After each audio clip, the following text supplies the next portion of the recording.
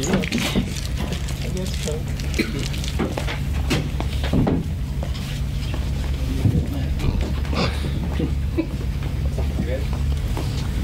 Alright, Kelsey.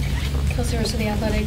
Darius, um, Caris has obviously kind of had a crazy start to his season with roles changing and the injury and everything. What did you see specifically from him tonight in the way that he got going offensively?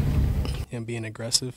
Um, he was looking for a shot, um, trying to get downhill, just being aggressive and being him. And uh, we loved it.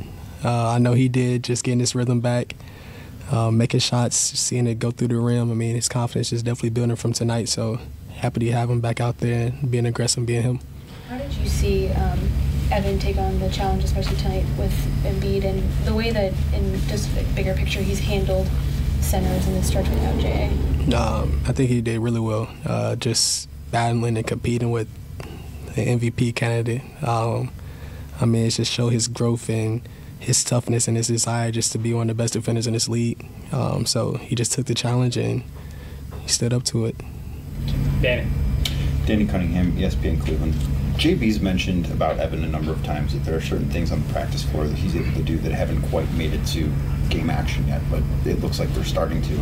Have you noticed him offensively starting to do more and being comfortable doing more? Yeah, um, we tell him all the time. I mean, he can do whatever he wants on the offensive end because we know what he does on the defensive end. He has to get rewarded for that. So um, when he goes to his isolation game and pull ups off the dribble, I mean, we love that for him. I think we see him make it all the time in practice, and we want him to start being more aggressive and and taking assertive in his offensive game um, and just believe in it because. I mean, his package is, is crazy. So uh, we want him to be aggressive and get more involved into the offense. And defensively, you guys were bringing a lot of doubles at good times on Embiid and then having to scramble on the back end to filter shots at certain spots.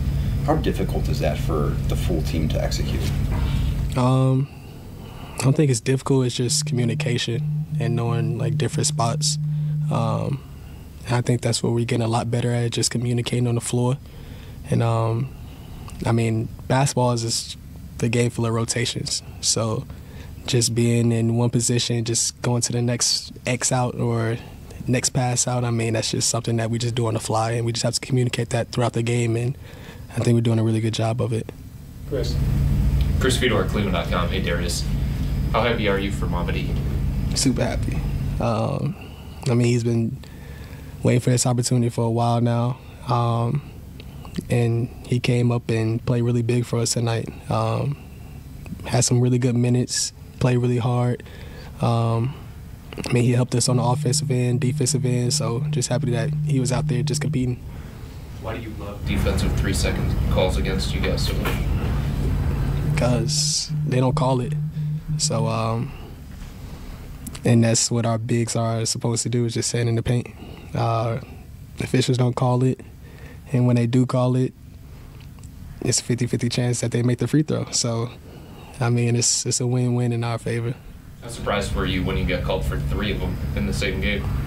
It's not a surprise. I mean, that's the official job. They're supposed to call it. So, I'm glad that they called it, and I'm glad they missed two out of the three free throws. Thank you. Go ahead, Marcus.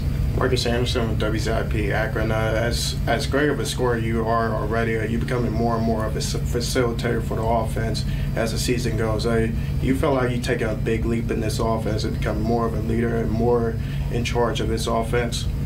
Um, I try to pick my spots.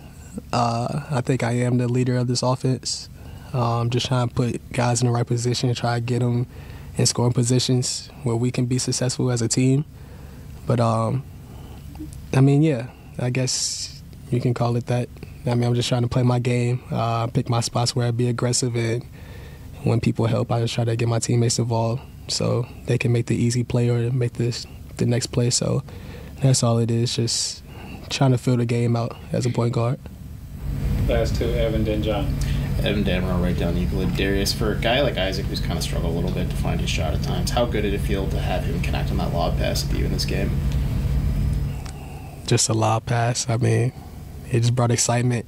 Uh, I mean, I's gonna go get it regardless. It don't matter where I throw it, he's gonna go get it. So it's cool just seeing him super excited, super hype, and uh, I mean, just seeing him building his confidence as the season go on too is super fun just to see. And you guys are nine and one at home this season. What gives you guys such a strong edge when you're playing here? The fans, in my opinion, um, they bring a lot of excitement to the game. They're always in tune. Uh, they know basketball, so like they calling out plays from the stands and everything. So it's super cool just to hear that. And um, I mean, when we make a run, I think it's really because of them, because they're so engaged and just bringing so much excitement. And when we do something like a lob pass or uh, like a three from JD or something, like you feel that energy, and that just carries on to the court and carries on with us. So I think it's the fans that's just having our back, just bringing all that energy to the the floor. Last one, John. John Rutter, Sports Illustrated Media Group, just kind of following off of Evan's question. Just how much do you enjoy throwing that lob pass for an alley oop? I think some of the more animated times that I can remember seeing you on the floor is after you've hooked up a teammate. What does that mean to you?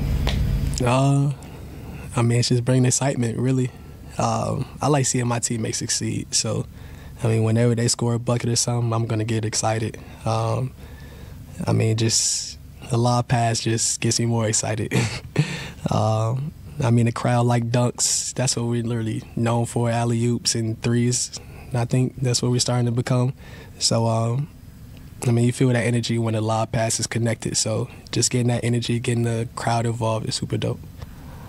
All right. That's gonna be it, everybody. Thank you. Thanks, Darius.